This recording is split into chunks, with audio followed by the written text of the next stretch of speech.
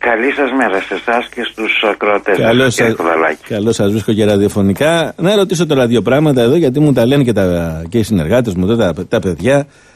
Γιατί υπάρχει κατάτμιση, λέει, σε τέσσερις περιοχές, να μας τις πείτε κιόλας, να μας πείτε πώς κατα... πώς κόβονται, πώς μοιράζονται και γιατί γίνεται αυτό.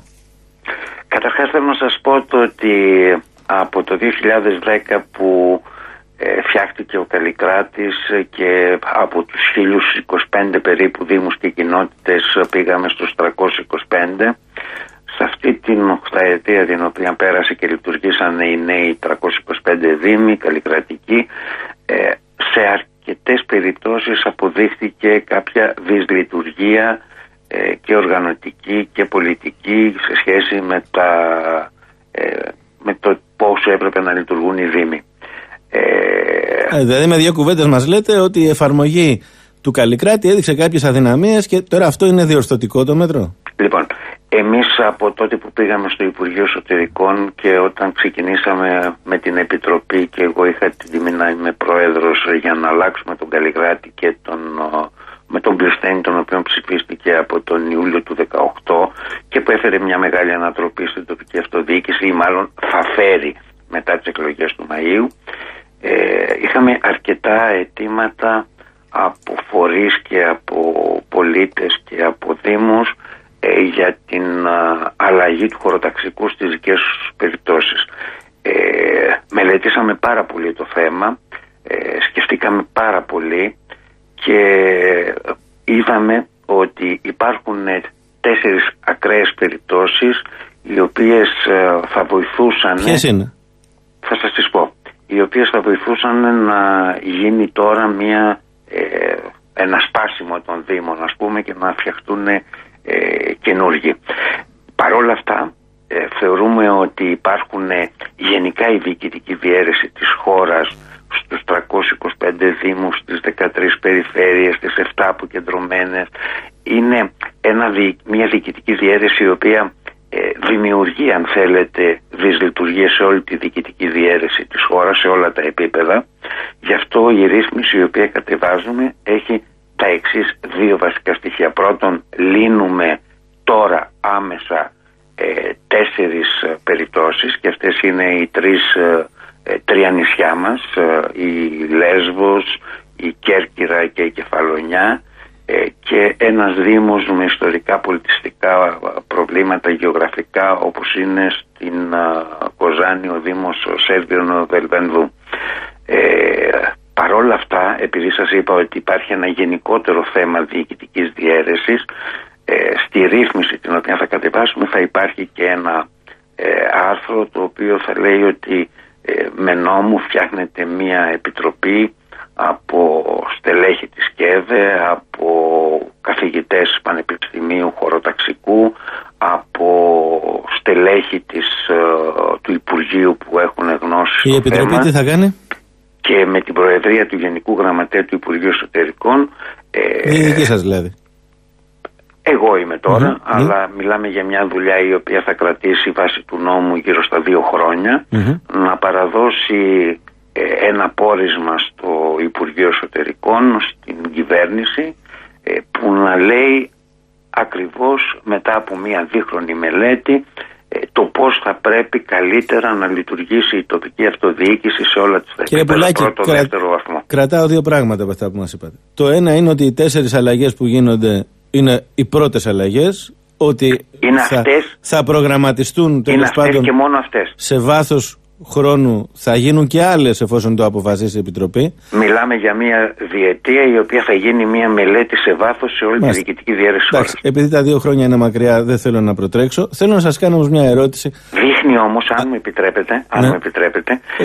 δείχνει ότι δεν είναι μια ε, αλλαγή τώρα διορθώνουμε τέσσερα πράγματα και τελείωσε, τέσσερις δήμους, αλλά δείχνει το ότι σε βάθος σκεφτόμαστε ακριβώς το να διορθώσουμε οποιασδήποτε Μια... της ουσίας ατέλειες υπάρχουν. Μία ερώτηση για, τους, ε, για τα τρία νησιά και το Δήμο Βελβεντού Σερβίνο στην Κοζάνη.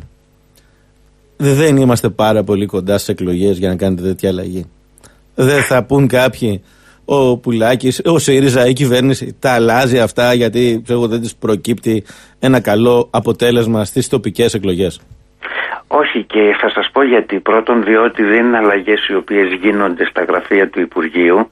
Είναι αλλαγές οι οποίες γίνονται μετά από μια συζήτηση και αιτήματα ε, όλων των φορέων που είναι στα νησιά και στο, σε αυτό το Δήμο. Έχουν μια ιστορική διαχρονικότητα ε, το πρώτο. Και το δεύτερο είναι ότι είναι πολύ επιφανειακή εξήγηση ότι δεν τους βγαίνει διότι καταλαβαίνετε ότι από τέσσερις Δήμους πάμε ε, σε 3, 6, 8, 10 που σημαίνει ότι αν έχεις δυσκολίες ε, στους τέσσερις θα έχεις ε, σε πολλούς περισσότερους.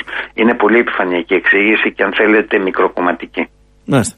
Να ευχαριστώ πάρα πολύ για την κουβέντα και να α, ρωτήσω απλώς, φαντάζομαι στο Υπουργείο Εσωτερικών τώρα θα υπάρχει και προετοιμασία για εκλογές κλπ. Έτσι δεν είναι; Ναι, υπάρχει εδώ και αρκετό καιρό, διότι στους 26 Μαΐου θα συναντήσουν οι πολίτες ε, αυτοδιοικητικές εκλογές και ευρωεκλογές, το... το οποίο τις έχουν δεν τις έχουν ξανασυναντήσει με αυτόν τον τρόπο.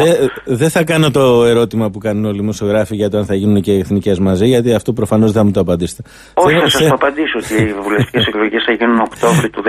Έχουμε κουραστεί να το λέμε αυτό το πράγμα. Κάποια θε, στιγμή θέλω, ε, θα το πιστέψουν όλοι. Θέλω όμως να ρωτήσω κάτι πρακτικό, γιατί μου το γράψανε κιόλας. Είναι πολύ σύνθετη, να το πω έτσι, η διαδικασία να ψηφίζει κάποιος σε τρεις κάλπες, έτσι δεν είναι; Ναι, αυτό σας ήθελα να σας εξηγήσω. Το ότι ενώ για, ε, ιστορικά γίνεται για δεύτερη φορά τυπικά αυτοδιοικητικές εκλογές με ευρωεκλογές, γίνανε για πρώτη φορά το Μάιο του 2014, μόνο που υπάρχουν οι εξής δύο ουσιαστικές διαφορές που την κάνουν πιο σύνθετη την εκλογική διαδικασία τη φετινή. Ε, η πρώτη διαφορά είναι ότι τότε το Μάιο του 2014 οι ευρωεκλογές είχαν ταυτιστεί με το δεύτερο γύρο των, ευρω... των αυτοδιοικητικών εκλογών που σημαίνει ότι στο 50% περίπου των δήμων που είχαν εκλεγεί από την πρώτη Κυριακή είχαμε μόνο άρα δεν είχαμε και αυτοδιοικητικές στο, στη μισό-μισό εκλογικό σώμα αν θέλετε. Ε, και η δεύτερη ουσιαστική αλλαγή είναι ότι σήμερα θα συναντήσουν και μία κάλπη παραπάνω στις αυτοδιοικητικές διότι ο Κρυφθένης έφερε μια πολύ μεγάλη αλλαγή όπου στα χωριά μας που λέμε να το πω έτσι απλά στις τοπικές κοινότητες θα γίνουν ξεχωριστές εκλογές Έχετε υπολογίσει κύριε Πουλάκη πόσο χρόνο χρειάζεται ένας ψηφοφόρος; Ναι έχουμε κάνει οποιαδήποτε αν θέλετε προετοιμασία οργανωτική για να είναι 26 ε, Μαΐου μια εκλογική διαδικασία που να μην ταλαιπωρήσει το, τους συμπολίτες μας. Ελπίζω να τα καταφέρουμε. Ε, δεν μου απάντησατε. Έχετε υπολογίσει πόσο χρόνος χρειάζεται; Ναι, γιατί θα έχουμε αύξηση των εκλογικών τμήματων, θα έχουμε αύξηση των καρπών, θα έχουμε αύξηση των παραπάνω. Δηλαδή υπάρχουν μια σειρά από διαδικασίες, τι οποίες δεν θα ήθελα Επειδή σας γνωρίζω και είστε πολύ ευφυείς, φαντάζομαι θα μου είχατε πει πέντε λεπτά. Μου λέτε περιφραστικά κάτι, το δέχομαι. Την καλημέρα μου να είστε καλά. Αυτό που θέλω να κρατήσετε είναι ότι στο 12ωρο 7 με 7, 7 πρωί με 7 απόγευμα που κρατάει η εκλογική διαδικασία, οι συμπολίτες μας θα έχουν μία ροή και δεν θα ταλαιπωρηθούν. Την καλημέρα μου, να είστε καλά. Ευχαριστώ πολύ για την Να είστε καλά, σας ευχαριστώ πάρα πολύ.